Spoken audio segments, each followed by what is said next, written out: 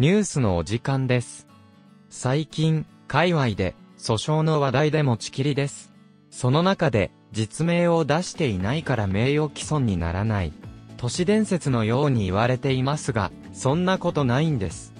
例えば、ガーシーと綾野剛の裁判がありますが、綾野剛って芸名なんですよね。また、死ねって言葉がありますが、ネット掲示板では、カタカナでた、ひ、と書いたりします。でも、それも一部では、共通言語となっているんですね。では、界隈で、共通言語となっているのは何か。テレパ。これは、小山さんですね。よく掲示板で見かけます。挨拶でも、ハローテレパシーと言っています。小なき。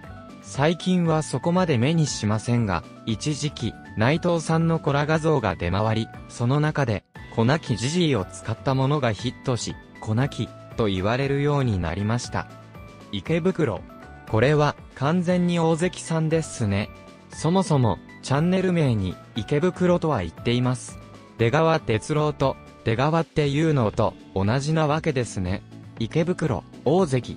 これが、チャンネル名であり、芸名なわけです。さらに、関連性を強める実例を挙げます。大田区のテレパ、防災公園のテレパ、千葉の小なき、KGB の小なき、ボランティアをしている池袋、金持ちの池袋、などです。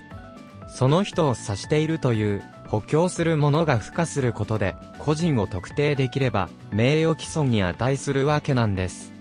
都市伝説にご注意ください。